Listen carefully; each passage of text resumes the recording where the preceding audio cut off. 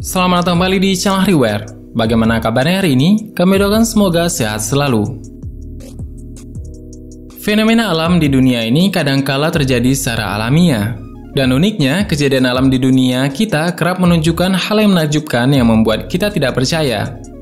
Bisa dibilang tidak sedikit fenomena alam yang membuat kita tidak percaya entah karena merasa takjub atau karena kengeriannya. Seperti penampakan fenomena lubang raksasa misalnya, meski beberapa di antaranya dibuat oleh tangan manusia, lubang ini juga dibuat besar hampir mencapai dasar bumi. Dan terkadang muncul api di dalamnya. Dan tidak sedikit orang menganggap bahwa lubang-lubang tersebut sebagai pintu neraka karena terlihat menyeramkan dan juga berbahaya.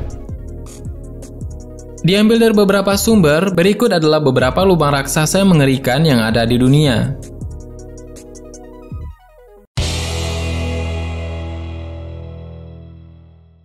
Lubang neraka di Turkmenistan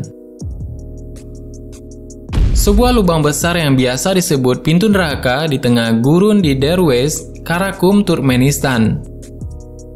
Dinamakan pintu neraka karena lubang ini berdiameter 70 meter dan terus mengeluarkan api sejak 40 tahun lalu.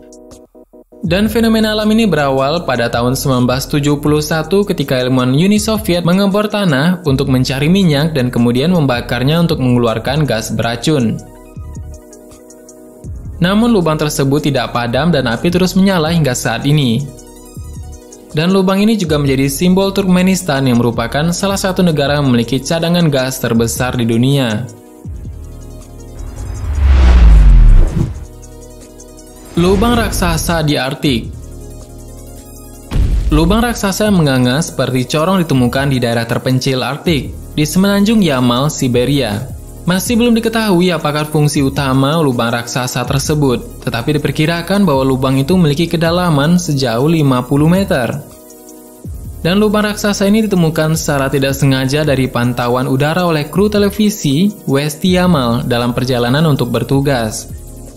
Dan kabarnya bahwa kawah misterius tersebut adalah yang terbaru di Siberia Utara sejak fenomena tersebut didokumentasikan pada tahun 2014. Bongkahan tanah dan es terlempar ratusan meter di sekitar corong lubang tersebut.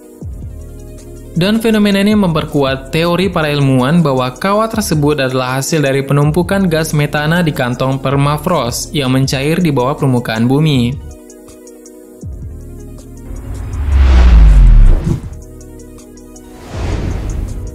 Yang selanjutnya adalah tambang Bingham Canyon Mine. Bingham Canyon Mine, yang juga dikenal sebagai Kennecott Copper Mine, adalah operasi pertambangan tembaga terbuka di barat daya Salt Lake City, Utah, Amerika Serikat, di pegunungan Oak Tambang ini dimiliki oleh Rio Tinto Group, perusahaan pertambangan dan eksplorasi internasional yang berkantor pusat di Inggris. Dan hal ini ditetapkan sebagai landmark nasional bersejarah pada tahun 1966 dengan nama Bingham Canyon Open Pit Copper Mine. Dan tambang ini pernah mengalami longsor besar pada bulan April 2013. Tambang ini juga memiliki kedalaman sedalam 1,2 km dan lebar 4 km.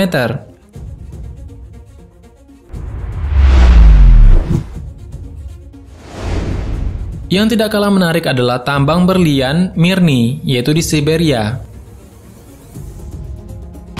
Tambang berlian Mirni memiliki kedalaman 525 meter dan diameter 1200 meter. Penggalian di pit ini dimulai pada tahun 1955 untuk memenuhi kebutuhan Uni Soviet untuk industri berlian setelah perang. Dan tambang yang setelah ditinggalkan ini terletak di Mirni, Siberia Timur, Rusia. Ini merupakan lubang buatan manusia terbesar kedua di dunia setelah Bingham Canyon Mine. Wilayah udara di atas tambang ini ditutup untuk helikopter karena dianggap berbahaya. Hal ini dikarenakan adanya perbedaan suhu udara dan arus yang tidak terduga.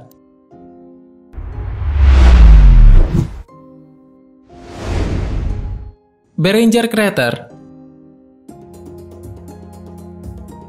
Meteor crater atau Beringer crater terbentuk sekitar 50.000 tahun yang lalu. Meteor yang jatuh di gurun Painted, Arizona ini langsung membentuk sebuah lubang besar yang masih utuh hingga saat ini, dan lubang ini memiliki kedalaman lebih dari 550 kaki dan sepanjang 2,5 mil. Lubang terbentuk berawal saat meteor memasuki gurun Pented, Arizona, lebih dari 175 juta ton batuan meledak di langit. Dan saat itu gelombang listrik sonik mengguncang udara serta meratakan seluruh pohon dalam jarak 500 mil. Termasuk hewan-hewan yang berada di 15 mil lokasi jatuhnya meteor. Lubang bekas jatuhnya meteor sempat terisi dengan air hingga menjadi danau. Namun karena kekeringan yang melanda gurun Pented, Arizona, danau tersebut mengering dan perlahan berubah menjadi gurun.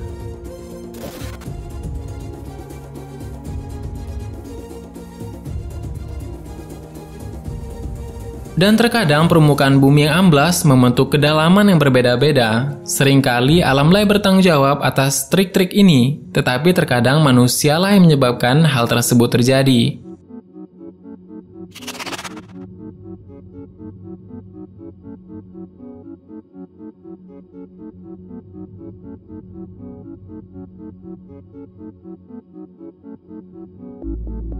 Tahukah kita mengenai sumur Zakaton, yaitu sumur dengan air terdalam di dunia?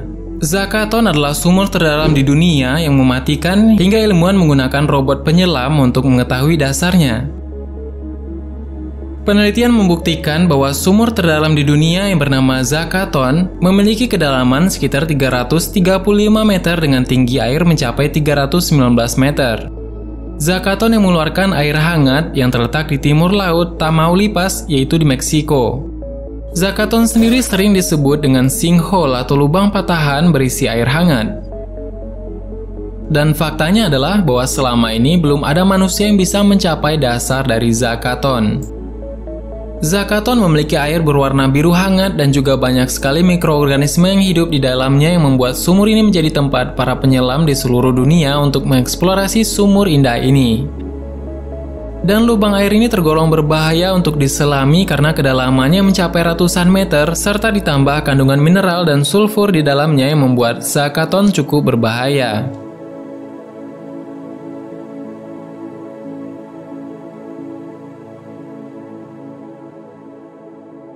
Bagaimana menurut mulai tambahan? Silahkan berikan tanggapan dan komentar di kolom komentar di bawah. Sebenarnya masih banyak hal yang belum akan kita bahas. Untuk pembahasan lebih menarik selanjutnya, silahkan teman-teman tulis di kolom komentar di bawah.